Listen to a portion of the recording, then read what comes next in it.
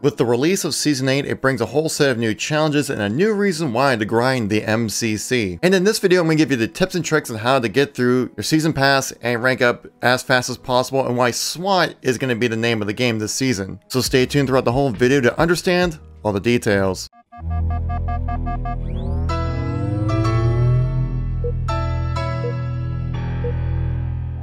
How's it going everybody? Welcome to the channel that keeps you up to date with everything going on with Halo. Today we're talking about Season 8 and the release of all these new challenges and new reason why to grind out the game. So I want to give you guys the tips and tricks on how to get through your seasonal unlocks the fastest way possible and also rank up pretty dang quick. So if you guys like these tips and trick kind of videos, make sure you tap that like button. Let me know you want to see some more content like this. If you want to stay updated with everything going on with Halo as it ramp up to the release of Halo Infinite, make sure you tap subscribe so let's get right into the content here. Now before we get into like the details of exactly how to do things, this season is the season to earn as many points as possible because we've never had this much XP payout in a season previously. Season 6 and Season 7, the XP payouts were generally about the same. Like yeah, we definitely had much more XP payouts for seasonal challenges when it came to Season 7, but Season 8 doubles down on the XP gains, guys. Where previously, like, weekly PvE and PvP challenges were a few hundred thousand XP. That was really nice. But these coming weeks are going to be massive when it comes to XP gains, guys, because now with Season 8, you can earn over a million and a half PvP points and almost two and a half million PvE points. Why is that? Well, I think it's just because like this is going to be the last season that we're going to have for the MCC.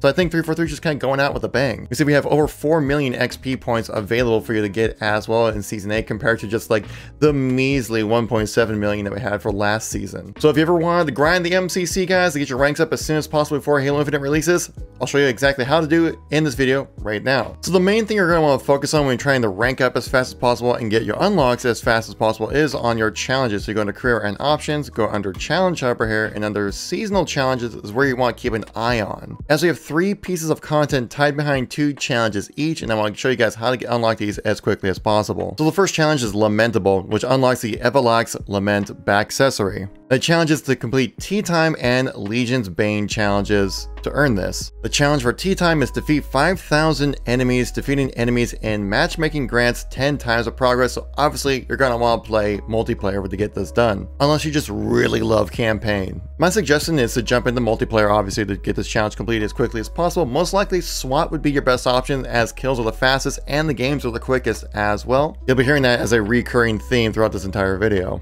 Legion's Bane though is a PvE one where it says earn 7,000 points for kills in PvE modes, earn 1 for grunts, jackals, and drones, 5 for elites and brutes, and 10 for hunters and vehicles. I would say there are two ways to go about doing this mission. One is actually going into Reach Firefight, set up some unlimited ammo, invincibility, high power damage on your weapons, insta-kill on some hunters, and just spawn just hunters in for a firefight. That's one way to go through this whole thing. If you don't want to get bothered setting up the whole thing, my suggestion most likely would be to play the Bravo Rally Point for Long Night of Solace, as this will get you into the space mission where all you're doing is shooting down the spacecraft. And well, there's a ton of spacecrafts out there to shoot down, so this will be a great mission to kind of grind that out if you don't want to set up the whole firefight thing. Next we have Veterans Veneer, which is complete the Montage Starters Kit and Infamous Challenge. Learn the Scorned Fate Battle Rifle skin. This skin does look awesome. As you can see, this Battle Rifle skin does look pretty freaking sweet. I definitely want to unlock this as soon as I can and this is how you're going to be able to do it as quickly as possible. The challenge for Montage Starter is earn 500 headshots with a battle rifle in match-made games. And so, the game mode you're going to want to play for this one is SWAT. 100% you're going to want to be playing SWAT because headshots is just a one-shot kill. It's super easy. Uh, like I said, you want to make sure you're using a battle rifle to get these headshots. You could play Halo 3, but they do now have mixed in Recon SWAT, which has a pistol instead. For the most consistent experience to grind on this, I would suggest playing classic Halo 2 SWAT or H2A SWAT. That works as well well. I just like classic Halo 2 SWAT a little bit more. The second part of that challenge is the infamous challenge, which is earn 200 multi-kills or spree category medals in multiplayer games. Again, they're most likely gonna want to be playing SWAT for this one, as SWAT is probably the easiest one to get a multi-kill in. I mean, I hit a Kill-tastrophe just like last night. Double kill, triple kill,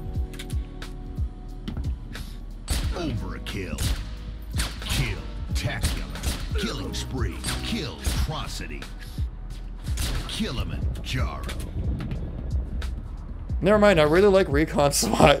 the last challenge unlock is the Hog Father, which is complete the Beast Mode and Protonaut challenges to earn the Gilded Lion Warthog skin. The Beast Mode challenge is a little different this time since earn 117 kills as either a gunner or a driver in a Warthog, while in matchmaking, this is definitely a BTB one. I would suggest trying to be the driver if you're kind of like solo queue in the BTB as you have more control over the situation, but if you're with a friend, maybe jump in as a gunner as well in that one. The Chrononaut challenge here is complete a cross-game campaign playlist. So there are multiple ways you could go about doing this. I think it's really just more like play which missions you like more. I mean, there are some missions that have like three, but you have like Guilty Pleasure here, which has the Ark, Two Betrayals, and the Covenant, which are all very long missions. The only other cross playlist one is Get to the Ring, which this one also has three relatively long missions with Halo, Delta Halo, and the Mission Halo. But this is played on normal difficulty, so you can probably get through it rather quickly. Another one you might be able to kind of speed run through kind of fast would be the Me and My Hog, which is played on normal difficulty, which makes it easier, which has the missions Halo, Outskirts, Tsavo Highway, and Requiem. So that's another one to keep an eye on. Now there's another challenge you want to keep an eye on, and that is the On the Clock Seasonal Challenge. It was a complete 30 weekly challenges. Again, just keep an eye on your weekly And PvP challenges. You'll be able to grind through that pretty easily. You get 1 million XP, which is one hell of a way to earn your XP ranks and rank up fast in the game. You also have Triple Scoop, which is just a very simple one of complete a custom game, earn at least 3 kills in a custom game for on the map Icebox, which is new to Season 8. Now when it comes to ranking up fast, you definitely want to keep an eye on your seasonal challenges here, as obviously each challenge grants quite a big dump of XP for you as soon as you complete these. So I think what you're going to mainly want to do for ranking up fast in, in the MCC is to focus on your seasonal challenges and go, okay, so we have most of these challenges are just like get headshots with a battle rifle essentially. So then what game can I play this time for my play session? Well, usually every PvP week there is a specific game you have to play.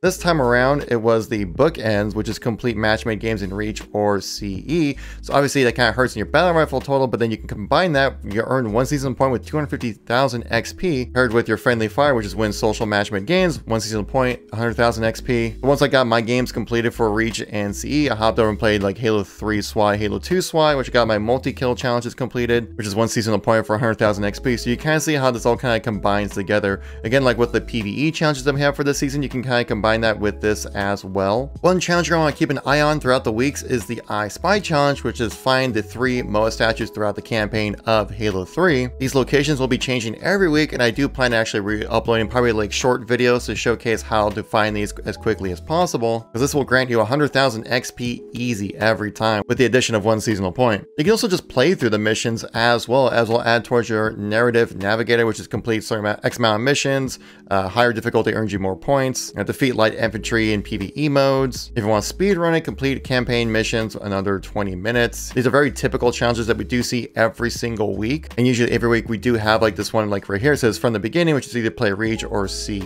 missions, which will grant you 250,000 XP and an additional seasonal point on top of that. So thank you so much for watching, I greatly appreciate it guys. If you're new to the channel or missing any content from me recently, check out this playlist right here. I got a link to all my Halo news and informational videos we've been uploading daily about. Thank you so much for watching, greatly appreciate it. I'll catch you on the next one. Peace out.